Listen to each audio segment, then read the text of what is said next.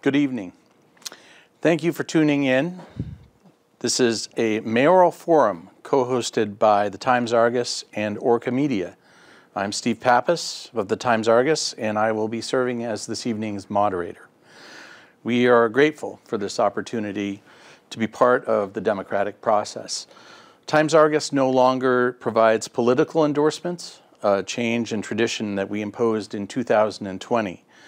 Instead, we allow our focus to be getting to know the candidates and discussing the issues at play. With that in mind, we are pleased to be able to spend the next 90 minutes with you getting to know the three candidates on the ballot to be Montpelier's next mayor. All three candidates have a long history with the city. All three candidates are active in the city, and all three have a vision for Montpelier. The candidates are Dan Jones, Jack McCullough, and Richard Sheir. In a moment, we'll hear from them, but first, some housekeeping. This is a forum. It is not a debate. The candidates will not be addressing one another. They are here to explain what differentiates them from their contenders and to outline their thoughts on topics facing Montpelier. To be clear, the questions posed tonight are mine, and the candidates have not seen them in advance, probably to their dismay. Hopefully not. Each candidate will get two minutes to introduce themselves. Following those opening remarks, I will pose a series of questions. The candidates will get two minutes to respond, and I will rotate the order of the responders so that each candidate gets several chances to speak first. During the answers, I will signal you with 15 seconds to go. With a few minutes left in the forum, I will let the candidates make closing remarks, remarks excuse me, again, two minutes each. And we are expecting a civil and respectful dialogue here tonight. I would remind viewers that this is being live streamed, but the forum will be available at orcamedia.net and likely will be broadcast now between now and town meeting day on March 7th. So now, let's meet the candidates. As they appear on the ballot, our first candidate is Dan Jones. Two minutes, sir. Thank you, Steve, and thanks to the Times Argus and to Orca Media for sponsoring this needed public conversation. Now, I truly love our little city with its scenic valley, its uh, historic and beautiful downtown, and its kind of pervasive sense of community identity. And I'd like to help preserve as much of that as possible. My work for several years has been to create a sustainable Montpelier, capable of responding to the economic, climate, and social disruptions that are clearly coming our way. Today, we can see those challenges have arrived or are visible on the horizon. Workforce housing is a huge issue. Teachers, healthcare workers, and all the other people who depend, we depend on every day need affordable places to live. We've been falling, failing them, and I will focus on how our city can help support a rapid creation of more workforce housing. We cannot have a sustainable city without clean water. A quarter century of deferred maintenance has led to its increasing fragility of our infrastructure we must make sure that the system starts to comply with recognized norms and the state demand for long-term safe operations. Our property taxes are moving from an annoyance to a financial threat for many of our citizens. We must focus on our budget priorities and look hard at the areas of our current expenditures. We face climate disruptions and growing recession. And I want to make sure the city is preparing for a wide range of predictable disruptions. Together, we can build a resilient and a safe future here, but we must do so in recognition of hard choices. As mayor, I hope to provide the needed leadership so that our wonderful little city can adapt and prosper in these challenging times. Thank you. Thank you very much. Jack McCullough. Thank you, Steve. Thank you to Orca and the Times Argus for hosting this debate, or forum, sorry. Um, you may catch us disagreeing with each other once or twice, though. Um, my wife and I moved here to Montpelier in 1983 uh, to raise a family, and we found this to be just a great place to live. In fact, many people have heard me say that uh, Montpelier is the best place in all of Vermont to live. I, I truly believe that. Uh, the sense of community, the, uh, the commitment of our residents and our neighbors to the well-being of, of the town and uh, the natural and cultural resources that we have all make this uh, a wonderful place to live, to raise a family, as my wife and I have raised our two sons, uh, one of whom uh, still lives in Montpelier with his wife and uh, our two granddaughters.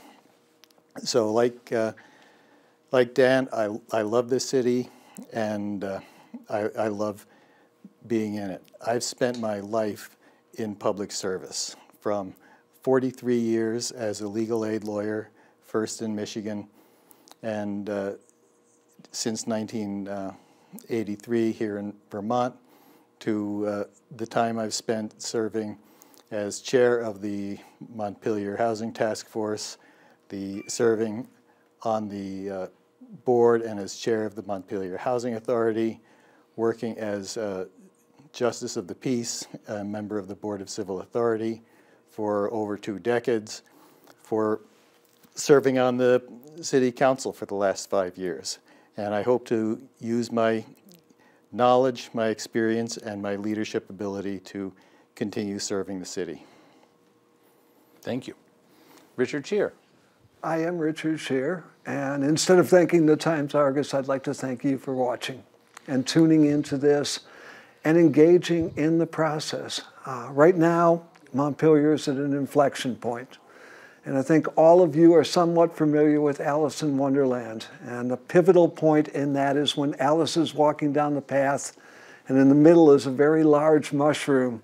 And the path veers off in many different directions. And sitting atop the mushroom is a caterpillar. And Alice asks the caterpillar, Which way should I go? And the caterpillar serenely looks at her and responds, It very much depends on where you wish to go, where you wish to end up. We're at a point right now where you need to choose a path. And three paths that are distinctly different are going to be offered tonight. Now, they're not opposing paths, they're parallel paths.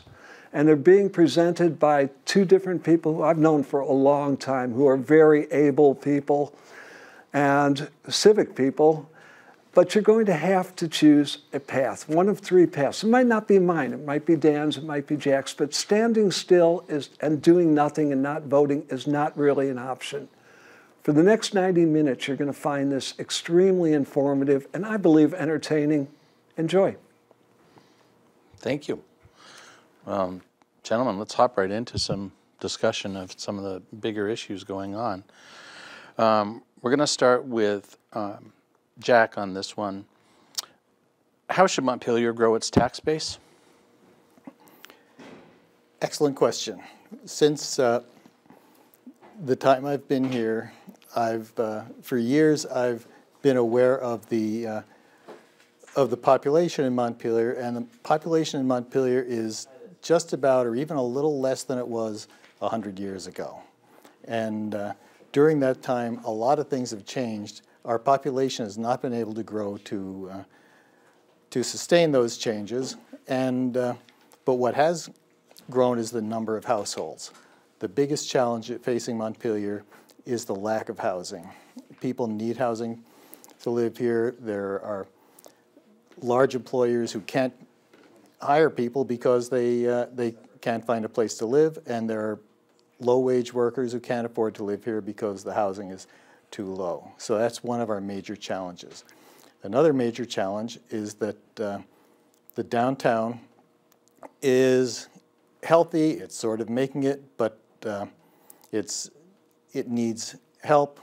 Um, one of our, the big things that's come up lately is uh, city, state government has to decide what it's going to do. I would like to see the, the state workers come back to their offices, but I don't think it's going to come back the way uh, they always were.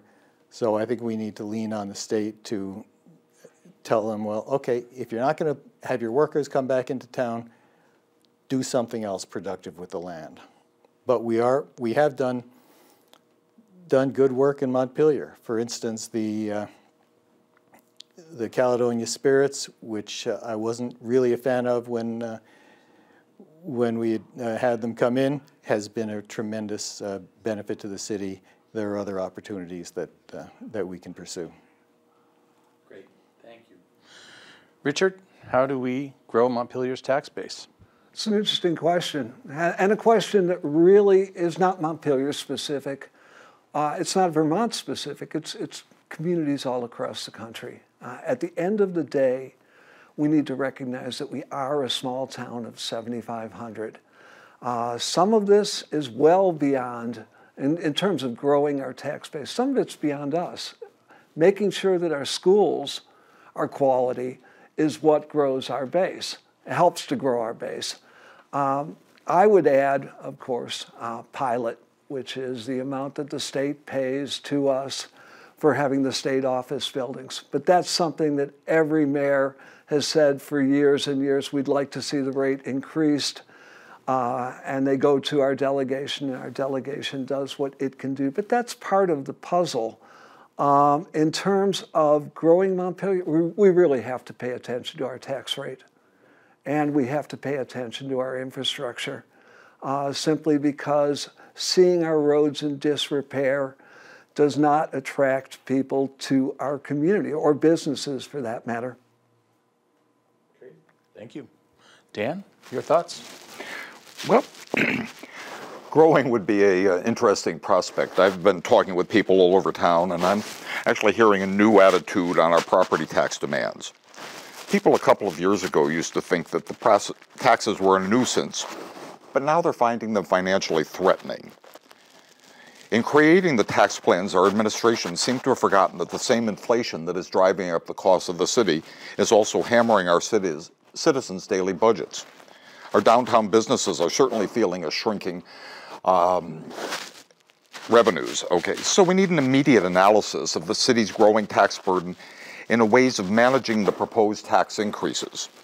While we wait for reappraisal findings, we can only hope that a large number of our current properties can be reassessed in something approaching their actual worth. I believe that we need a hard look at the commercial buildings on State Street as they are appraised at something like a third of their real value. Now, of course, the business people who own those uh, properties are hurting with the post-COVID collapse of office demand. So we need to start working on ways of turning those properties into other uses, like housing. Before our residents are hammered with an ever-growing tax burden, we need to deep dive into the various ways which our buildings and land are valued now. And this is where we kind of have to get into a systems analysis, looking at the multiple factors. For instance, how much of our single-family housing is owned by investors, you know, or non-residents with little commitment to our community. Personally, I'd like to see such investment houses taxed substantially higher than the owner-occupied dwellings though that would need some provision that the taxes could not be passed on to uh, the renters. So we need to take a look at the actual expense base of our city, our government, and see where savings can be created. And such demands will demand a citywide discussion of our real priorities and would assume a justification for all our costs and administrative budgets. Great. Thank you. Richard, this first this next question is going to start with you. What needs updating in our city's master plan? I believe that what needs updating in our city's master plan is management of uh, the management responsibility of city council and the oversight that city council has in terms of the city manager and the master plan in its implementation is what's important. It's not the vision itself, it's how the vision is implemented that's really important. And accountability and implementation is extremely important, and that involves oversight, which is one of the principal functions of the mayor. I mean, in Montpelier, the mayor, according to the charter, does very little. They can't, as Jack knows, they can't even vote unless there's a tie to be broken. Uh, they set the agenda, and they're the people who chair the meetings. Their key function is oversight over management and how management does implement things such as the master plan and things that aren't in the master plan, the daily operation of our city, police, fire, public works, uh, recreation, all of those. Great, thank you. Dan, what needs to happen to our master plan? Well, first of all, we need one. Uh, other than redrawing some lines on a map five years ago, uh, we're really working with a master plan that's 10 years old and doesn't take into account a lot of changes that have happened in the city. So um, we are still operating with an idea that we have a growing economy rather than a flattening economy. We're still operating on the idea that somehow we are the center of a um, uh, commuter base for the region and uh, dedicate 60, 65% of our downtown to uh, parking lots. I'm tired of parking lots. We've got, we've got to start thinking about other uses for our downtown land, but that requires a master plan that has a broader way of looking at it. Another one that I'm really, really worried about is that our master plan doesn't take into account a lot of the things that we can see happening in the climate and the economy that is foreseeable now. Um, the same way that this winter is suddenly turning into be an extended mud season, you know, with uh, inter intervals of deep cold and then going back to, well, it's 52 degrees today. I mean, this is mid-February. Uh, so we have to start accounting for what that's going to mean for our infrastructure, what's that going to mean for uh, you know, our environment, our economy, because uh, we're no longer a winter sports economy as this opinion uh, goes on. Uh, what's it going to mean in the summertime if we have one of those uh, heat domes that comes over us? We're done from planning for floods, but we've done no planning for uh, the other kinds of uh, disruptions we may have to see. And so I think it's time for us to really, as a council, you know, and I agree with Richard on the, the role of this, to start demanding a new level of planning from our uh, planning department and a master plan that better reflects the coming realities. Great. I don't know if that means Jack disagrees with you or. He needs, he needs water, but sorry about that, Jack. That's okay. Jack, what do you think? The, uh, the Planning Commission is engaged in a process of revising the master plan. And what they've been doing is, you know, meeting with the relevant uh, city committees to address each element of the master plan. For instance, we have a housing committee and before that the housing task force.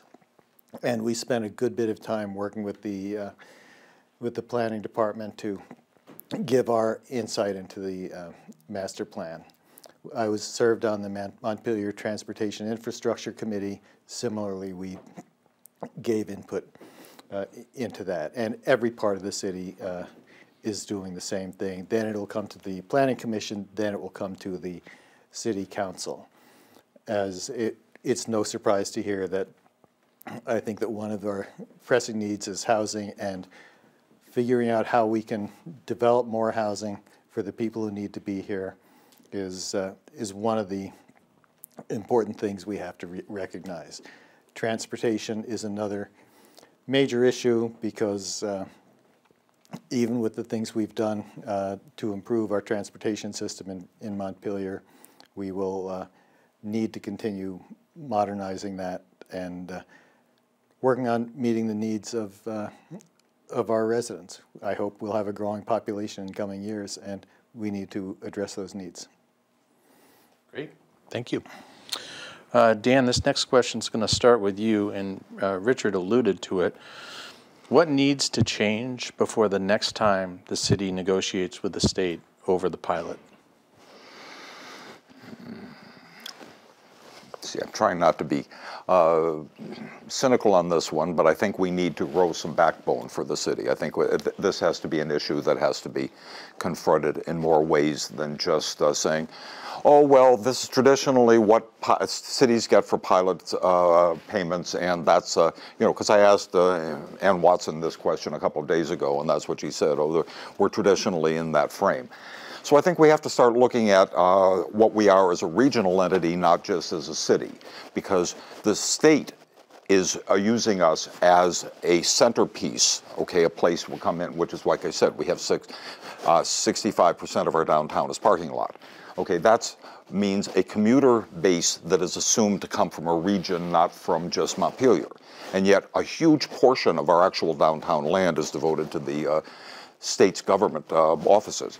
So in that respect, uh, we've got to start making a new argument with the state that uh, there's really a lot of demands, and some of it can be increased pilot payments, some of it could be some of that land along the river that is not going to be reused as people uh, continue working at home for being able to make it available for housing.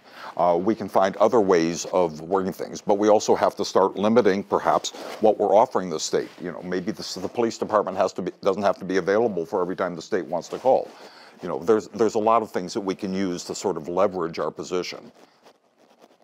Great. Jack, what do we have to do to renegotiate, before we renegotiate pilot? Well, I think it's, uh, we have to recognize that Montpelier is not uh, a lone ranger here. We're not, we're not a, a solar player in, solo player in the uh, payment in lieu of taxes world. There are plenty of towns in the state or cities in the state that uh, have a lot of uh, state property and they all participate in pilot. We're, we're, we don't get to set the rate, we don't get to set, to set the price. It's the legislature that does that. And uh, we will be, we have been and will continue to be working with the other uh, municipalities that have large amounts of uh, state property to push in the legislature for a, a bigger allocation of, of pilot money. I think that uh, it's a very tricky thing because what we're supposed to be doing is uh, assessing all the state property based on its fair market value. We can all come up with a reasonable assessment of what the fair market value of a state office building is. A little trickier to decide what the fair market value of a state house is. There's only one of them, and there's not that many buyers for it. So there's there's a lot involved. I would continue to push hard for uh, for increased allocation. In uh, just the last couple of years, the uh, city council has uh, formed a legislative committee to uh, set our priorities for what we want to lobby for in the state house and uh, as I say, I think it's, it's the first time we're working closely with, uh, with our legislative, with our legislative delegation, and we'll continue to do that. Richard, what do you think?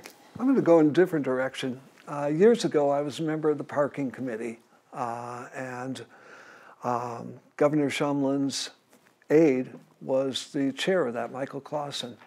And we went off in very creative directions in those days. We were talking about land swap, and we were talking about a possible parking garage that would be next to the executive uh, building, the, the uh, pavilion we were talking about. Uh, at the time, the wood chip plant was coming, the uh, district heat, and we negotiated to be able to put that on state land. Um, the car lot which became the transit center, was another one where the state and the city were being creative. The state has land that we find could be of interest. Pilots should be thought of in a broader context. Maybe there's land that uh, next to the Department of Labor, where the liquor authority is, that could become a new state office complex of some sort, a small one, so that we grow the number of workers in Montpelier that are on state jobs. That's not pilot per se, but it's the same sort of thing that is win win. We have something you want, you have something we want, and we can sit and make something happen. Because Jack is totally right on that. We're not alone. Waterbury is, is principally along with us, but there are a lot of cities and towns that are along with us on that one. That one's largely out of our control. Well, this next issue, again, something that was just brought up, um, is not out of your control. Um, and we'll start with Jack on this one. In your opinion, has the district heat plant been worth it? It's uh, it, has been a problematic uh, issue for us. I, I, was a strong supporter of district heat when when it was proposed uh, way before I was ever on the council. One of the things that we were really hoping to do is has been successful, and that is to uh, reduce our reliance on fossil fuels. However, we know that uh, our customers are not happy with the uh, with the prices they're paying for for heat. So the jury's still out. I think we will still, in the long run, consider it to have been worth it. But I think that uh, the long run is the way we have to look at a lot of issues. Meanwhile, one of the things that we put in this year's proposed budget that I hope the uh, I hope that voters support the budget in general. One of the things we put in was some financial incentives to attract more uh, more customers to the system, and that is a way of uh, spreading the cost. Great, thank you, Richard.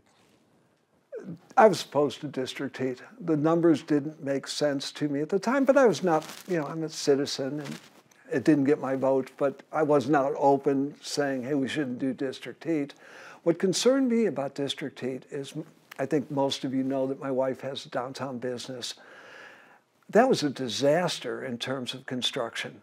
The merchants were promised that that would end in August before leaf season. It ended in November. And that was the beginning of the key, the clues that something was dearly wrong under those streets with sewer and water. And let's not forget that it went down State Street, uh, down School Street over to that school, the same path that we worked on recently. And basically, it was sending red flags all over the place that we didn't understand the downtown infrastructure under the streets, and we missed those flags. The council at that point just did not act on it as they probably should have. And had they acted on it, our system would have been fully mapped right now in terms of the downtown, not only the location, but the condition of those pipes. And this last console would have been able to take intelligent action so that you didn't have whack a mole water leaks downtown. So, yeah, that's what district heat meant to me. It was the indication that something was wrong, and we didn't act on it. Dan, what do you think? Was it worth it? It could be. Okay, I, I was a strong proponent of district heat at the time. I was on the Energy Committee, and um, I've been very disappointed with the city's management of it, okay, or lack of management. I, uh, because I was then becoming an interface with the businesses that had signed up for district heat and found that they were not getting the support they needed uh, for figuring out the problems. So there was this handoff bo box at the district heat plant where the steam heat for the buildings becomes uh, hot water for the city. Um, it was supposed to be then metered and managed and that nobody was actually assigned the job of overseeing it. It should have been created in some kind of a utility function that there was actually management and oversight rather than being stuck with the city engineer to say, here you do it. So that meant if you did something like I was uh, with the Unitarian Church trying to say, well, could we use district heat to heat the church? And it turned out the city wanted $200,000 to make a pipe connection across the street. And it said, well, wait a minute. There's no bonding authority within the city that allows for uh, this to be spread out over 20 years. No, it had to be paid now. So it's been poorly managed, poorly overseen by the city. It's become something that I think could be resurrected because the energy costs in general are going to be going up for everyone. We've already started seeing it. They, you know, they go this way, but they keep going up higher. So the district heat plant could become the salvation of our downtown because it could become a very cost-effective way of keeping things heated in the future. But that's going to require a management plan and a utility pro, uh, approach that is sadly lacking from the current administration. Great. You guys are nailing the time. Nicely done. Um, so, on kind of on the uh, same vein, um, we've now set the stage. Um, Richard, I'm going to start with you. What policy decisions do you think need to be made today that are going to help Montpelier a decade from now? There's two of them that, that I feel. One is that for years, we've kicked the can down the road in terms of finding out what is going on under those streets. I mean, the number of water main breaks just in the last month, we had behind Positive Pie in the parking lot. We had in front of TD Bank on State on Main Street. We had College Avenue. We had Langdon Street. Uh, all in the matter of a month. This is telling us that that 50-year-old plan or the 50-year plan that we have is invalid. And the main decision that we need to make is who is going to do this? Should we bring in outside sewer water experts, Or should we allow the city manager and public works to do that? And what I'm saying is I would advise that we bring in authorities with more expertise than we have in house to make that determination and that it be done in six months' time so that we, before that next budget, have an idea of what this looks like in the short term and the medium term so that we can adjust the long term capital budget. And with the Elks Club, same. In six months, we need a solid business plan that will tell us who's going to pay for the water and sewer underneath that. And at that point, council will make a decision either to continue with it or to sell the property and put it back downtown into under the streets. That's what I believe needs to be done right now. Dan, what do you think needs to be decided now for a decade out? Okay, I will start in agreeing with Richard on the uh, water system. I think we don't have a functioning city without clean water, and I think the can has been kicked down the road for 25 years. Uh, so we actually have to have a plan that is going to deal with that, whether it's uh, internally or not. I think the state has yet to fully uh, weigh in on whether what we've got is a pressure problem or a pipe problem and I'm beginning to fall on the side of a pressure problem. But that's going to require $50 million or so in terms of pipes and things. So the city's going to have to find a way of paying for that. The other thing that we're going to have to do, I think, is start imagining a um, new tax structure that begins to look at, like I suggested before, um, other ways of valuation of properties so that uh, we're not having our workers um, driven out by uh, investor-owned buildings. Uh, that means a new kind of attention to zoning, so that the zoning is the main lever the city has. You know, but how do we then use that lever to uh, do things like get housing up here at uh, VCFA? How do we get uh, housing going in places that uh, it might be needed immediately? Because without the housing, we then have a problem with about well-to-do people wondering where they're going to find carpenters and plumbers and teachers. So we have yet to uh, figure out that workforce housing issue. And finally, like I said, I think we've got to uh, really start taking a much harder look at our uh, administrative costs and overhead and say, what is it that we need to uh, approach and control because we are not in a never ending growth spiral now. And so we're going to have to learn how to contract and manage with it. Okay? You've still got 10 seconds. Why, thank you, Steve. But now you don't. Jack, what, what needs to happen now? Well, one thing you've heard from me before, and what we hear from everybody in the city is what we need is housing. What we don't hear as much of is how do we make sure we get it? And so, what I, what I think we need to do, one of the things we really need to do is address the issue of housing, where we're going to put it, how we're going to uh, develop more housing. I think, and there's been economic studies that shown that, that we could, uh, over time, we could in- increase our population by a couple of thousand, go up to about 10,000, and it would not appreciably change what we see of as the quality of see as the quality of life we live in Mon- we have in Montpelier, and it would be uh, economically beneficial. Um, we're we're doing that right now. We're involved in a public process to address how we're going to deal with uh, the Country Club Road property, and the the voters came out and supported the purchase for housing, for uh, land conservation, and for recreation. We have major needs in housing and also recreation, and so bringing that to a successful conclusion is going to be a, a major uh, major benefit. Another part of it is how do we get housing into downtown?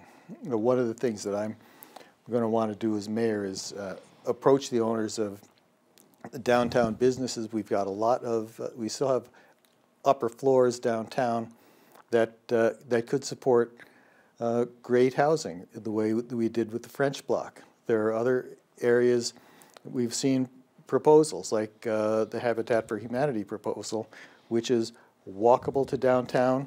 We need to do more of that. Great, thank you. Dan, um, some elderly friends are stopping into town. Did we Oh, No, I opened up, I thought. you started. Yeah, Yeah, no. Okay. Some elderly friends are stopping into town. Please point them to the restroom. In the 21st century, why is this an issue in a progressive city like Montpelier? That's either a very short or a very uh, long answer. Uh, I'll, You have two uh, minutes. I'll have two minutes. Um, I noticed that the uh, legislature is taking the bull by the horn and now has a bill to study whether there should be a public restroom in town supported by the state. Um, I think it's a uh, embarrassment for our city that there is not public restrooms available at all hours for a place that prides itself on being the center of the state and the uh, center of the state. Uh, yeah. But that is uh, one of the problems that we uh, keep throwing down the road uh, that uh, can't kicking down the road. Now there are ways that we could do things rather rapidly, but it might mean be less pretty, but could be effective. You know, there could be porta potties put in rather rapidly and uh, supported. Um, but no, nobody seems to mention that. They want some kind of a, a finished thing. They, but there's no budget, so who's going to clean it, et cetera? It becomes one of those things that there's, oh, we can't do this and we can't do this. It's sort of like uh, Tr- Harry Truman used to complain that uh, he wanted a one-handed economist because uh, each economist would say, well, on one hand you can do this, on the other hand you can do this, but nobody ever makes a decision. And I fear that we're in that situation. The, the city could pull the bulls by the horn uh, and try and find ways of actually constructing something using land that it's in control of downtown, but it hasn't. Okay, it's waiting for the state. The state is got, going to study it, so it's two years out before it does anything. Uh, this is an embarrassment, but what do I tell my elderly friends? Well, I said, well, uh, City Hall until four in the afternoon, uh, you know, one of the restaurants if they let you in without having to buy something, or uh, the transit center until seven at night. But uh, other than that, we're up. Jack, you've been wrestling with this one. We have. We need uh, downtown restrooms. Um, There are, um, the city has uh, been working to address that, this not as quickly as we should because we're deal, we're addressing a couple of different populations. People who don't have any place else to live and people who are visiting. And uh, this is a major uh, des- travel destination. We should have it. We should, uh, uh, uh, last year, maybe two years ago, the voters of the city approved a $450,000 appropriation for services for homeless people, including a building to site public restrooms. Um, The siting is very difficult because a lot of the parts right down are also, guess what, in the flood zone. So that's, uh, that's, that's a real challenge. We're going to continue to work on it. Uh, We support the, uh, the bill that uh, Conor Casey, our former counselor, and Kate McCann have uh, sponsored in, in the legislature. Um, A couple of years ago, we did have porta potties, and I think that as a temporary fix, we, uh, we should still be doing that. And, um, but, but we need to keep working on it. Meanwhile, City Hall, Police Department, Transit Center, um, those are resources that are available to people. Great. Richard? Well, that's one that my wife faces because she sees elderly people come into the Quirky Pet all the time with that kind of request. She sends them over to City Hall. Uh, she used to send them over to the Civic Center, but that is no longer viable. Um, that is a real issue. Uh, Jack nailed it. There are two very distinctly different populations that would be using that. If it were available during commercial hours and the like, um, I think there's a broad community consensus on this. When it goes 24 hours, then you end up with the issue of how do we secure this facility so that it's not vandalized. And basically, those are really tough issues before council, and council really has worked hard on that. Um, but I'll add one more. There should be a drinking fountain in front of City Hall so that you can get water for free in downtown Montpelier. And it should have a little thing below for dogs. Great. So, sorry, you, you all set? I didn't mean to cut you off. You actually had more time. No, Okay, you're all set. I'll leave it with dogs. Okay. Um, so, Jack, we're going to start with you on this one. Um, given the fact that Montpelier has been struggling with um, the issue of public access, homelessness, my question is how do you think other communities see Montpelier right now?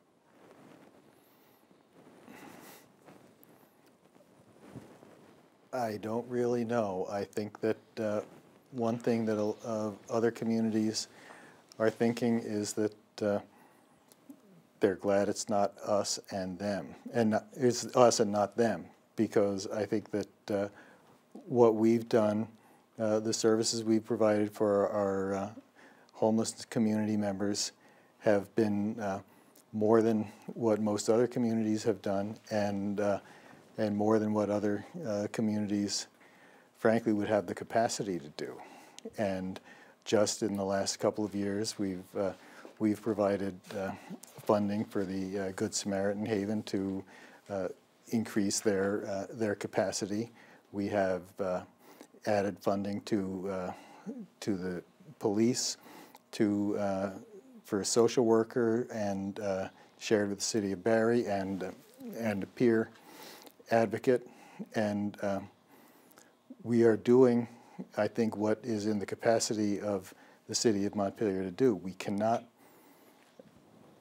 end homelessness with the resources of the city of Montpelier. However, we do have an obligation to uh, provide what assistance we can to enable people to have a, a reasonable, uh, live in, in reasonable dignity and safety we have to recognize that being homeless is not something that those members of our community are doing to us. They're not doing it to the city. They're uh, victims of circumstance, of whatever might have happened to them in the past, and but that doesn't mean we have no uh, obligations to them.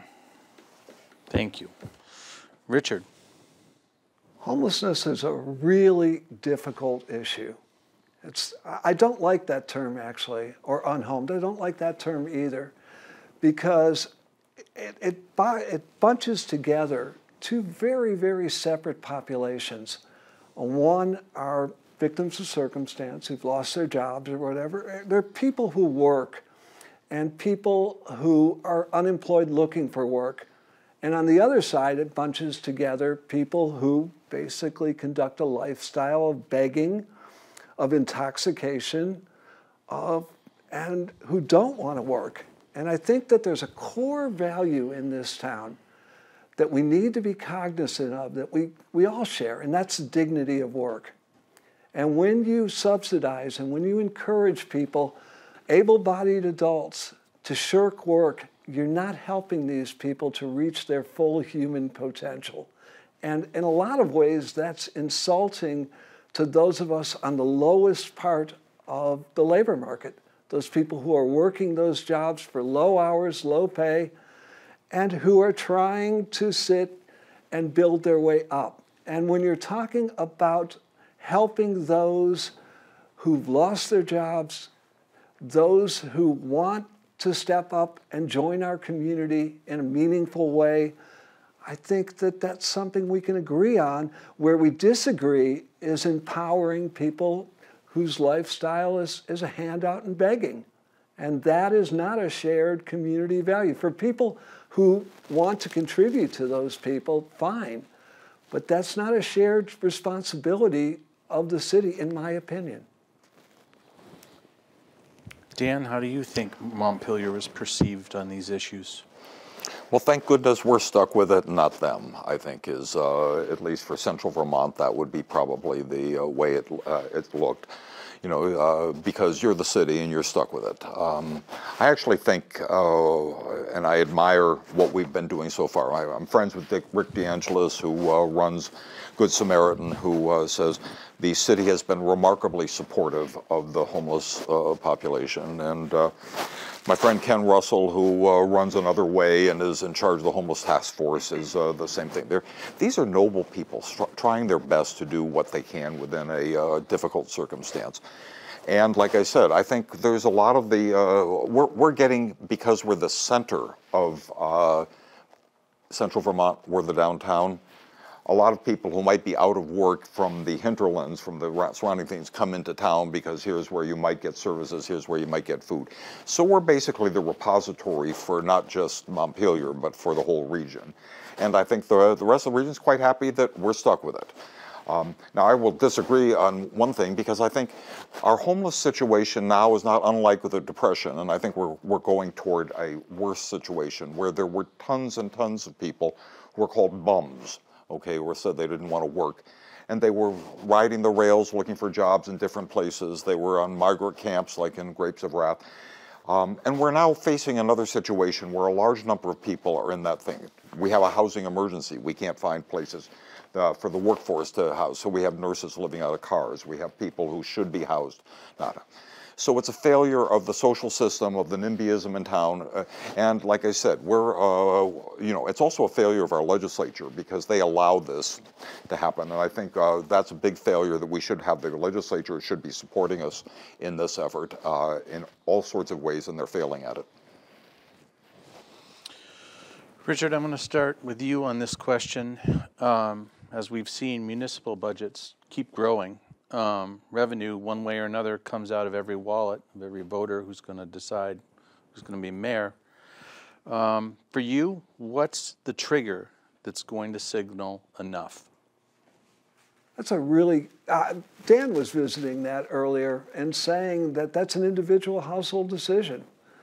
Uh, in terms of us, I've actually gone in and studied that budget and it's a fairly tight budget. It's, you know, um, there aren't that many new staff positions that have been created in the last four years. In the last four years, we have two new people in the Department of Public Works. Um, it's, it's a difficult, very, very difficult budget to sit and slice at because where you decide to slice, you have a constituency that's going to say, I'm getting gored. Uh, let's not forget that the mayor is one vote out of seven, and one vote that doesn't even vote unless it's tied. Uh, for me, in terms of the budget, I think right now people are feeling it. That's what I'm hearing is that the budget concerns them. And what's embedded beneath the budget concerns them. Um, Jack was talking about the recreation center, and that's a good topic to discuss.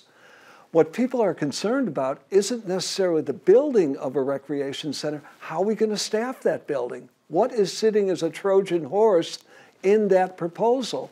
They're not so much worried about the housing and, and Country Club at the Elks Club. They're worried about the streets, the sewers, the lights, the ancillary in that, what's hidden in that proposal.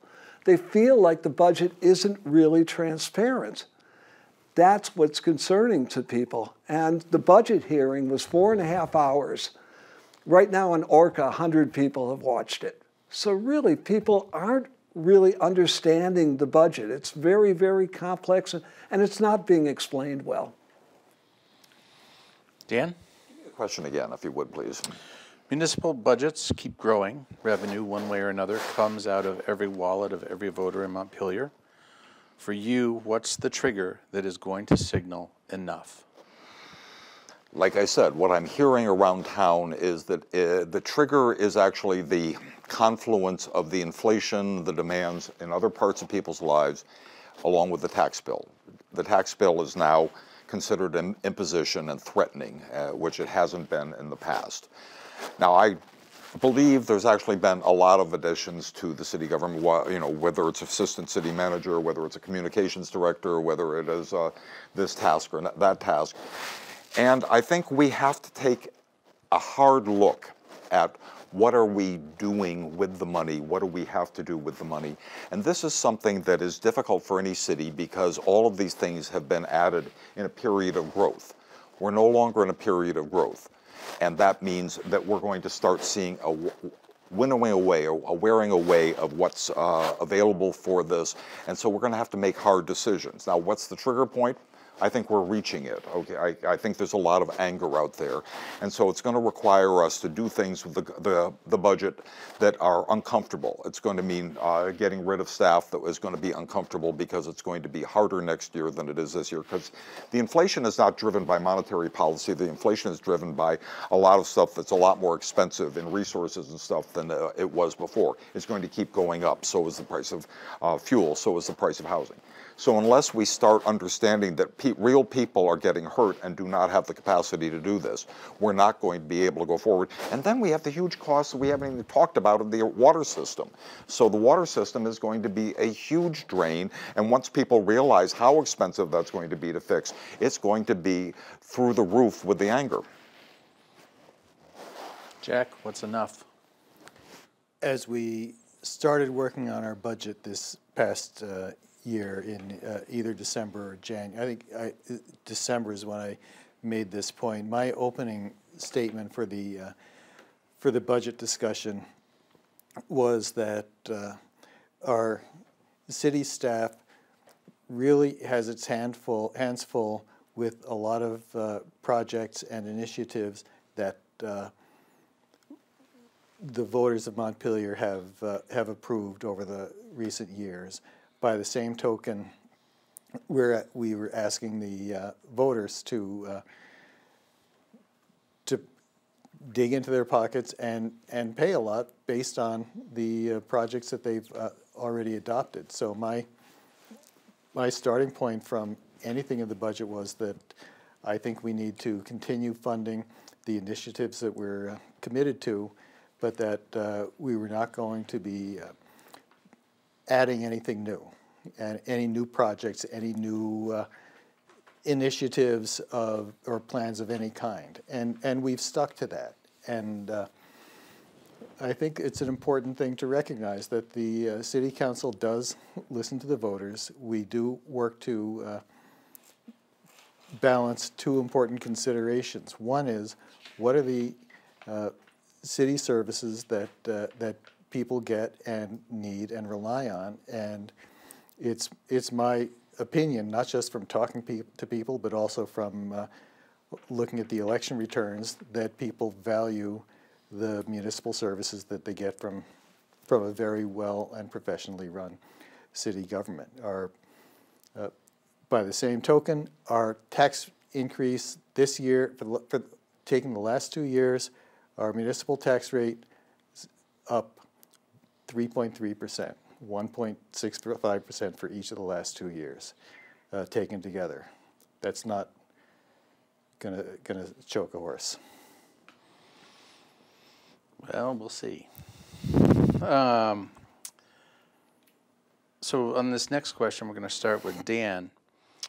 Um, tell us your thoughts on Montpelier's current demographics and what you see as the challenges within them we're old. Um, we're, uh, you know, we've got too many uh, of us in the senior category and not enough of us uh, coming up with uh, the uh, skills and energy that are going to be needed to uh, build our future. Um, nor do we have um, enough of us to the young people coming up who are really going to be able to take over lots of the uh, resources in town because right now, because us old people are living so long, okay, we're, um, a lot of us are sitting in houses that are way beyond what we need, but the, uh, you know, we would like to move to smaller places, but it turns out there aren't any to move into. So we have a lot of housing space that could be divided up being uh, captured that way. We're also, um, we've been rich too long, so we've assumed that we um, have the capacity to do things that are beginning to be patently um, not possible. So, uh, you know, we've got a lot of well-to-do people who uh, may be threatened as uh, the economic challenges come uh, around. Um, we've got um, we've got to structure the city too much for the needs of the old. And uh, while we have great recreation facilities, they're underutilized in many respects because we don't have the uh, the actual demand in the population for them. So I think it's time for us to start looking at ways that we can even things out, and that's going to require some hard choices for uh, people that I don't think uh, ready to talk about yet. Jack, how are our demographics in Montpelier right now? Well, as a fellow art, old guy, it's hard to argue with Dan. On the other hand, uh, on, on the other hand, I am going to take issue with that. Certainly, we have a disproportionate uh, number of uh, older older people in the population, but I'm seeing from from where I sit, and mostly because of uh, being involved with my uh, my grandchildren and, and their families, I see a lot of younger people who are still moving to Montpelier, establishing households in Montpelier, raising children in Montpelier, and I think that's going to continue. That's something we really need to address. Um, I'll, I'll go back to it again. Housing. We need more housing for young people. You know, it's not old people who are working in restaurants. It's not old people who are working in the uh, retail stores for the most part. We need housing that younger people can afford and can move into. Um, we do need uh, recreation resources. We, um,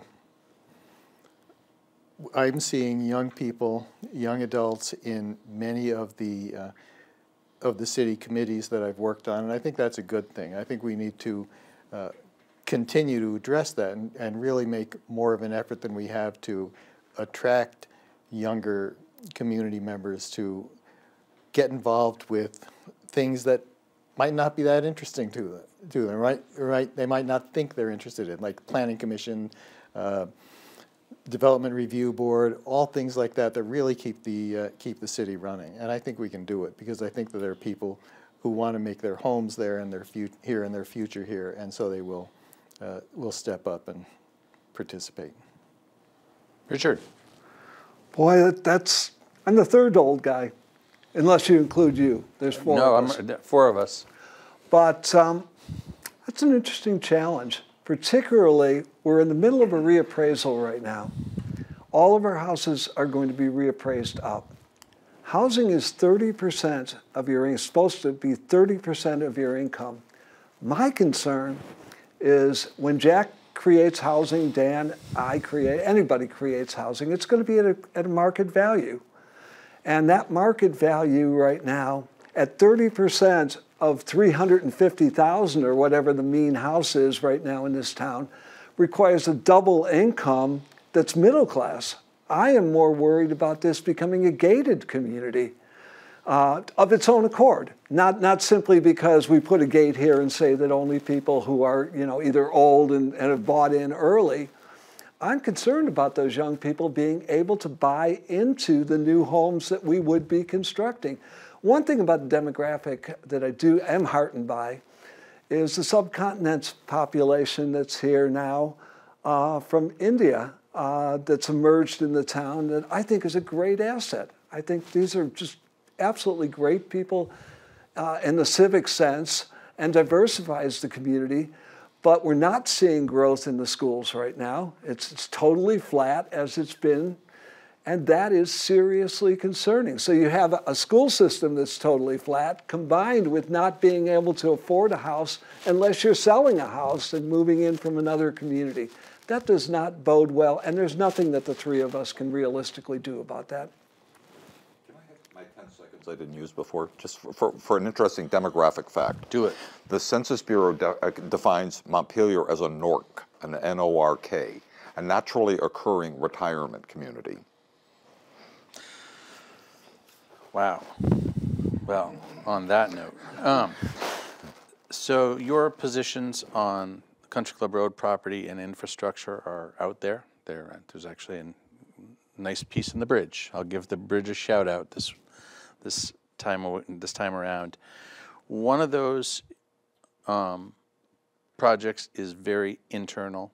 The other is very external, and I want, starting with Jack, you all to explain why one has to be the priority.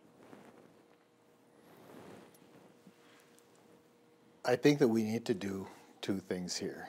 Um, we need to, uh, I, th- I think we're going to come up with something with a proposal that's not going to be any one of the three models that we've been shown. But I think what we are going to see is something that, uh, that has a significant amount of housing, uh, possibly and probably more than what uh, was described as the, as the middle range, the, the hybrid between housing and uh, recreation, probably more housing than that. Um, and, but I, I do think we also have an obligation to, uh, to do recreation. Uh, the recreation center does not meet anyone's needs, hasn't for some time, and, uh, and we need to put it somewhere. And uh, we don't have an, you know, out by the swimming pool, we don't have adequate parking or uh, adequate land to, to build anything that's bigger than we have now. We have a building up here at uh, Vermont College that is basically the same footprint as our, as our current uh, rec center. So neither one of those is going to work. I think we have to have rec- a recreation center right up there. Um, I think we need to have uh, a mix of housing. There are people who just are always going to want to have uh, single-family housing. That's the only thing that they're going to uh, to move to. And uh, as I think all three of us probably live in single-family housing, I think that. So we're going to have to have some single-family housing up there. We're going to have to have uh, clusters and uh, and townhouse and multi-unit property because there are plenty of people who also want that. But we can have all three of the things we need land conservation, outdoor and indoor recreation, and housing. It's a big piece of property, and we can do it. Richard? I voted no on the country club acquisition. Uh, I found it to be land speculation. It had no rationale and it had no business plan when it was purchased, and that defines land speculation. It still doesn't have a rationale as of today, and it still doesn't have a price tag. And I would like to see both of those prepared by September um, so that we know the total cost of that. And that includes the streets, that includes the street lights, that includes the sewers, that includes the water mains, and that includes land subsidy to the developers if we do, so that we can make an intelligent decision on council in September and not kick it down the road and say, we are going to do this in our capital spending, and we're going to take this projected capital spending on bridges, sidewalks, and the like, and we're going to push it back. But at the same time, on the recreation department, I agree with Jack. It's disgraceful to have the old rec center in Barre that's leaking and the like. But where we disagree is that I would have three alternative site plans by September one at, at the country club site, the second by Montpelier High School, where it could be used as ancillary gym space during school and where it has ample parking, and the third over at Elm Street by the pool, where we have synergy with other activities of recreation, so that we're not held hostage to that one vision. We can still have a recreation center without that project up at, on Country Club Road at the Elks Club. Dan, what do you think? Now, did you hear? Was this an either or? Which which of your? Uh, It's all right. We're, we're, it's, it's, it's very, it's all, it's logical. No, I'm, I'm, I. I'm, I, you know, I, I'm just trying to be clear here. Uh, the I was, the, the original question was your, that you both, you all have said how you feel about the Country Club Road property and infrastructure. I'm saying that one is an internal focus, which is infrastructure, and one is external. I, my question was, explain why one has to be the priority. okay, And- that's what I thought I heard. Yeah, okay. Um, okay, I'm going with the water system. I think uh, you, you don't have a functioning city without a safe water system, and we have a really, really big nut to think. Now, the Country Club Road, I, I'm even further out on that one. I, uh, I was not uh, a supporter. I'm not a supporter now. And given the parcel's rural uh, nature, uh, and it's never been part of the master plan, I think it was a bad choice of public dollars. The water system, we have no choice. We have to start fixing. And right now, we have a system that is not um, designed for what it's being demanded to uh, do uh, because the water pressure means that the old pipes are popping more often because it was designed for 90 pounds per square inch and what it's getting is 200 plus pounds per square inch. That is um, bad municipal management to allow that happening, and that's why we're having uh, pops in the uh, every, you know, there's still one out the door here um, every other week, if not more. Okay, but it's going to be a big number. Okay, so we need a standard plan of how that we're going to attack that. How are we going to finance it? Who's going to do the work, and I have not seen that forthcoming. And this 50-year plan on the uh, the water system is a joke. Okay, it has it's a fantasy. It has it basically looks we're going to do the same thing for the next 20 years as we've been doing, which is patching things, and then somehow in 2040 we're going to start finding the financing for the 83 million needed to actually rebuild the system. So that's not a plan. That's uh, you know a pretend. So it's time for us to sort of bite the bullet and start saying, what realistically do we have to do with the water system? It is crucial for any city to do it, and I'd rather ride on bumpy roads with good water than uh, uh, to allow that to keep deteriorating the way it is. Final question, gentlemen. Um, I'm going to start with you, Richard. Um, there are a lot of folks in Montpelier who have a lot of different things to say about what they think is wrong how are you planning on communicating and hearing back and engaging with the community at large? As mayor, you have three responsibilities. I keep going over this. One is you represent the city at meetings and, and events and things like that. Number three, you have accountability and oversight over city management. But the second one is so pivotal, and that's that you are the person who sets the agenda, sets the rules, and chairs the city council meeting. There is nothing worse and demeaning than the two minute rule, than to go before city council and the city councilors sit literally above you and you speak and they stare at you and, and they don't respond. Uh, you've come to express your opinion and hear what city council has to say. And Bill is the person, our city manager, Bill Fraser, is the person who answers. And basically, you have two minutes, yet what you're talking about is a lot more complex than two minutes. That's simply because city council has always been really poorly run.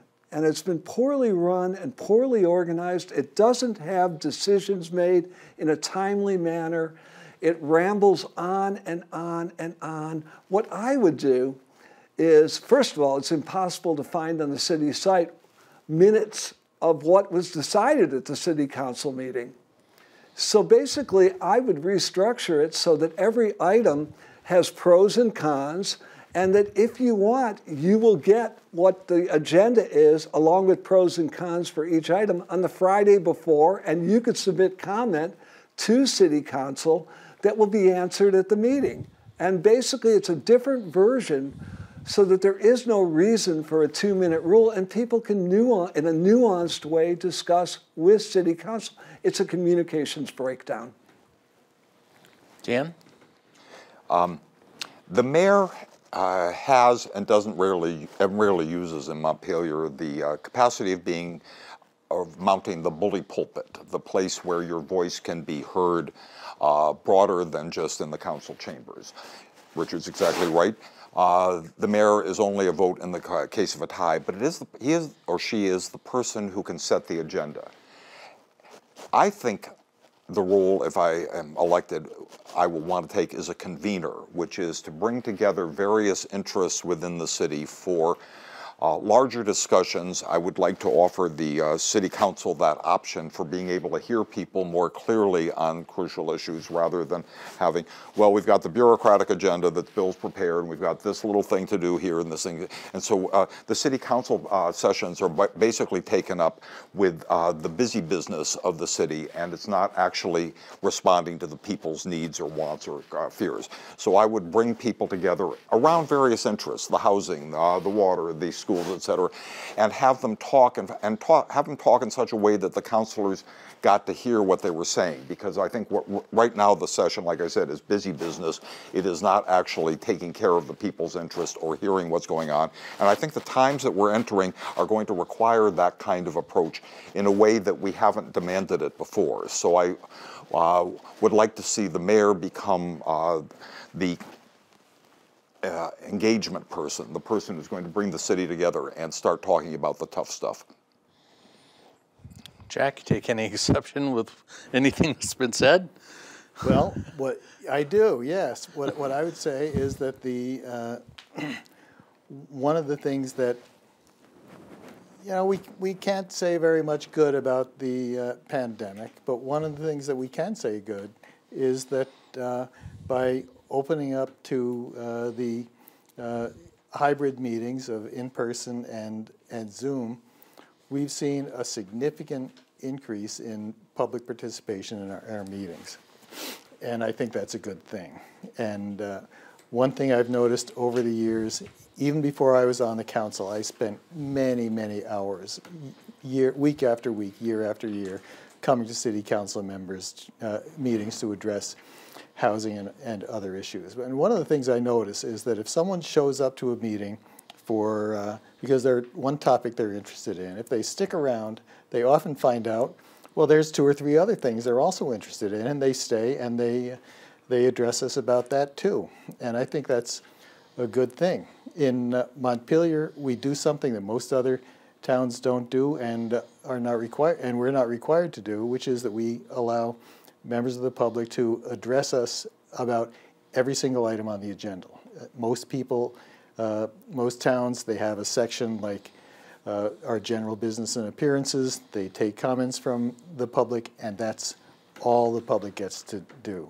Um, I, I, do think that we uh, should adjust how we do just general businesses, business and appearances. My proposal uh, earlier this year was to uh, set aside half an hour uh, for that, but allow people to go up to five minutes and assuming there's no, that wouldn't eat up the entire time. Um, but communication is vital. Great. Thank you, gentlemen. We covered a lot of ground. Um, so now we're going to wrap things up. Um, we're going to, once again, the order you appear in the on the ballot will be how you do your closing remarks. So we're going to start with Dan, where the, you, have, you have two minutes. Two minute rule once again, hi. Uh, and I, I want to offer my compliments to my fellow candidates here who are willing to give their service to Montpelier so that it can be honorably governed. I think it's a big deal. Um, as you've heard from me tonight, I believe we're at a crucial moment uh, for our city where our old assumptions on the ways of doing things are not sufficient to challenge the, the challenges that are coming our way.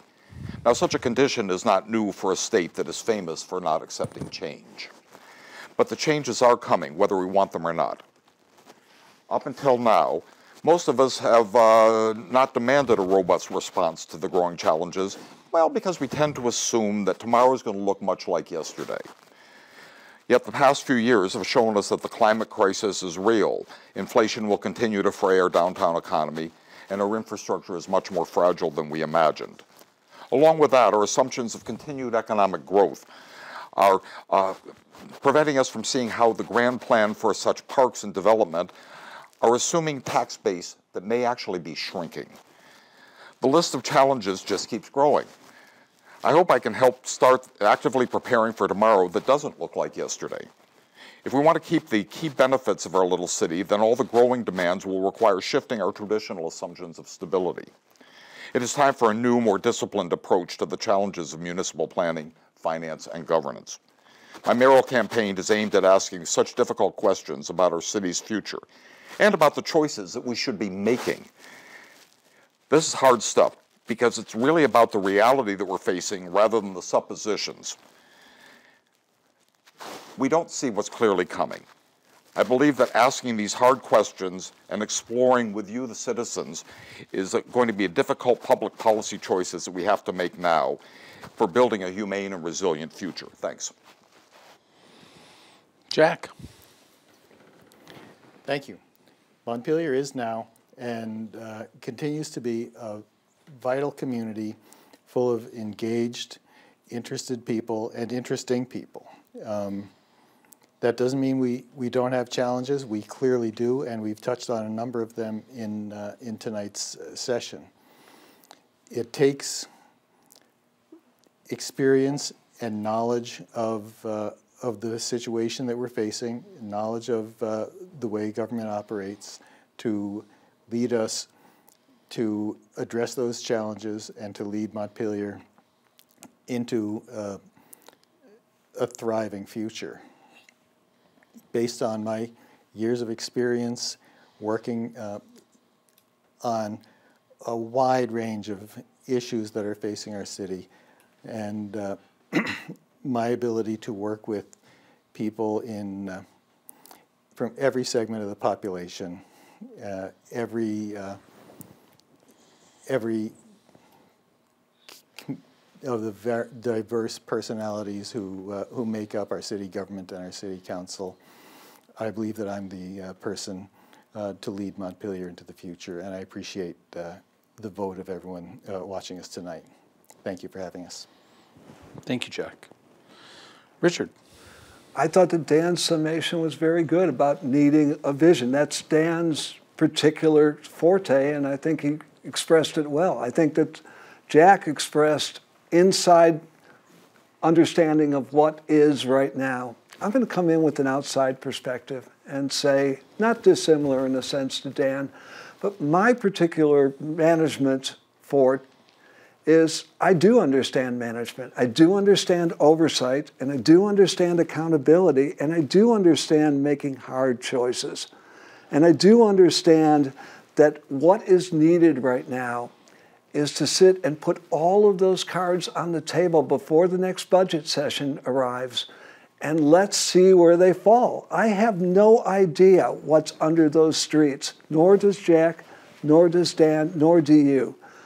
But everyone deserves to know what's under those streets. When we do construction projects, they're stopped because people don't know where the pipes are. They've never been mapped. We need that kind of understanding and deserve that kind of understanding. I can promise two things as mayor. Water prices are really going to spike, no matter which of us is elected mayor. That's a promise. And the second promise is that if we face this, we're not going to like what the, what the experts tell us. But we're all adults, responsible adults, and we deserve to know that so that we can face the future intelligently and strengthen the core of Montpelier, which will strengthen the city that we love, we all love. And I thank Jack and I thank Dan for running, and I thank you for hosting this, and I thank you for watching. Great. Thank you so much. Um, very good. Thank you again, gentlemen. That was um, a really good discussion, and thank you for joining tonight for what I think was a very informative um, clear distinction between three individuals who know the city and love the city. Um, again, the three candidates for mayor are Dan Jones, Jack McCullough, and Richard Sheir. Um, a big thank you, big shout out to ORCA Media for hosting, um, recording, and rebroadcasting. Um, and three quick reminders for the viewing audience that uh, first, these candidates are going to be meeting one more time, at least one more time, uh, before town meeting day. The Montpelier Rotary Club is hosting a forum Monday, February 27th from 12:30 to 2 p.m. in City Council chambers at Montpelier City Hall. That actually will be followed by a second forum of the candidates for City Council, which will start at 3. ORCA is also uh, will be there for those forums. Next Thursday, February 23rd, I will be back here from 6:30 to 8 talking to the candidates for the contested races for Montpelier City Council, and that will also be live streamed and available for viewing at ORCA Media. Um, lastly, uh, you can get your absentee ballot right now. Um, be sure to get out and vote. The polls will be open on March 7th until 7 p.m And I would urge you to check in with the Times Argus on that evening, and certainly the next day for our extensive town meeting day coverage. And thank you again for tuning in and supporting local journalism and public access. And have a good night.